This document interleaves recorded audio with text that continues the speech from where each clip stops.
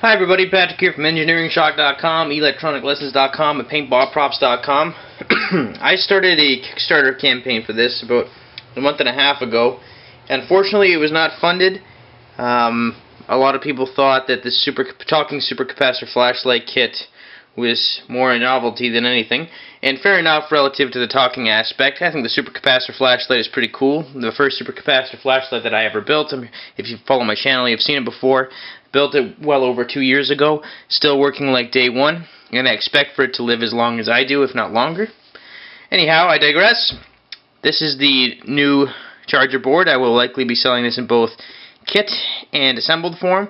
I still have to tweak the programming, but it's about 95% done. I'm going to put this into a flashlight and make another video. Obviously, here's my speaker, my uh, 200 farad 5.4 volt capacitor bank, voltage booster calibrated to 9 volts, to power my LED LED bank. You can the LED bank will operate at 8 to 12 volts. At 12 volts, it's blinding. Uh, 8 volts, it's still pretty bright. I like to calibrate between 8 and 9 because it saves a lot of power and you get more you get more time out of these babies per charge. Anyhow, I'm not going to give a full demonstration today because it would take a long time to charge uh, and go through the entire uh, demonstration. But what it does is you plug it in and it says uh, it tells you that it's charging. Then, uh, as you hit certain checkpoints, it will say charge at 20%, charge at 40%, charge at 60%, charge at 80%, and capacitors are in the capacitor bank is charged. And there's also a visual indicator here. Now, you would have that off the board. Same with uh, this uh, power jack. You would have it connected to the flashlight, so you have easy access from the external shell of the flashlight. But again, this is my first board, hot off the press, and I'm still in the midst of programming. So let me just quickly plug it in, and I'll give you a, a quick show.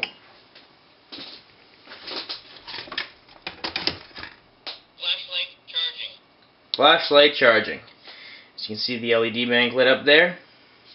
And uh, so you heard, probably heard the relay switch on, so now power is being applied to the capacitors.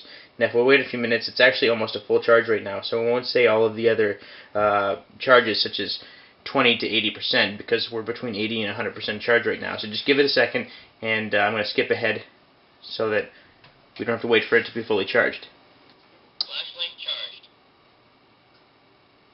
So there you go, and wait for it.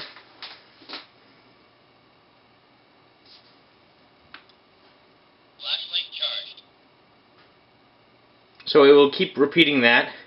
It will blink for a while and then say flashlight charged. So there's a visual and audio indicator. Now for the final uh, software, what I'm going to do is make it so that this blinks for about 10 minutes before it says flashlight charged. Because this can get kind of annoying if you don't feel like getting off your seat to unplug it right away. So there will be the constant LED flickering. It will not actually stop when the device says flashlight charged.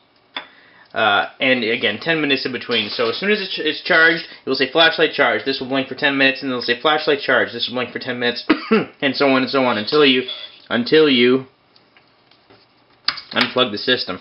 Now, what I do is I just I've already calibrated the uh, the booster.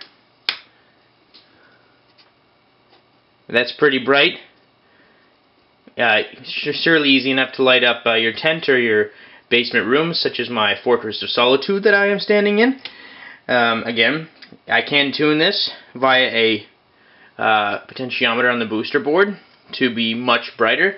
Right now it's not blinding, but it, it does leave uh, traces, if you know what I mean, in the eyes. Anyhow, I've got a little bit of work to do on the software, but I could probably finish off finish up the uh, the software in five or ten minutes. Uh, I spent my Sunday afternoon working on it, so I easily get uh, 30 to 40 minutes of charge uh, based on the uh, a fully charged set of capacitors.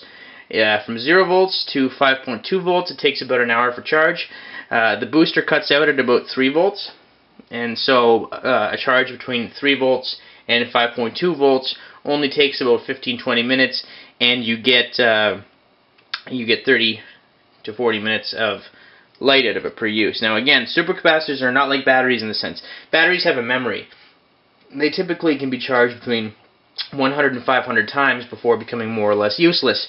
Uh, but whereas supercapacitors are not so much like that, they can be they are designed to be charged and discharged quickly. And over a hundred thousand times.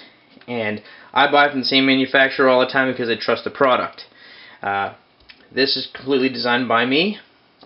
The booster board I uh, I outsource just because it's easy and uh, these LED banks are just fantastic. So it comes with the 9 volt adapter. I will be selling them in assembled form and in kit form. And for kit form, I will be having a full uh, assembly video that talks you how to tells you how to calibrate the, uh, the booster, how to solder everything together. It really, really is a neat DIY project. And it, while the talking aspect, it is a novelty it's kind of neat, and I think it's a conversation starter. So thanks for watching, guys. I sincerely appreciate your time, and uh, if, especially if you checked out my Kickstarter, thanks for taking an interest. I'm uh, I'm really thankful.